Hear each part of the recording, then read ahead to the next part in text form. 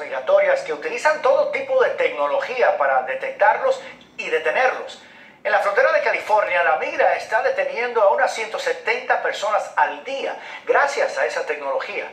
Melissa Sandoval nos muestra cómo rastrean con sensores, telescopios y radares.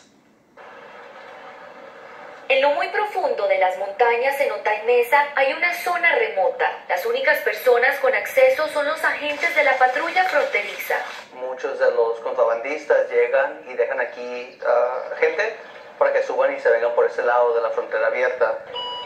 Con la ayuda de un centro de operaciones táctico ubicado en Otay Mesa, estos agentes usan sistemas tecnológicos como sensores, cámaras activas, telescopios y radares para rastrear a los migrantes.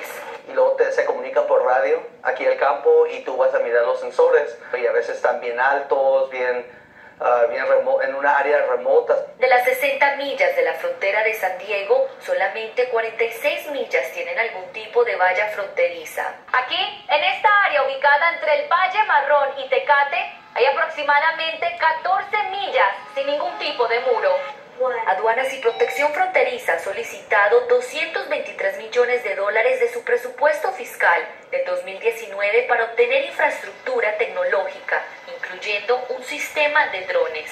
Entonces, ¿por qué no crear un muro inteligente con la más última infraestructura, sin la necesidad de construir una valla física? La tecnología solamente no funcionaría. Necesitamos la tecnología, necesitamos la pared también.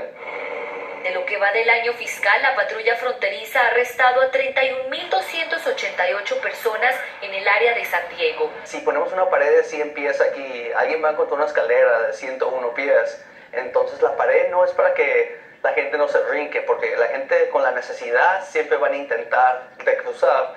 Reportó Melissa Sandoval, Telemundo.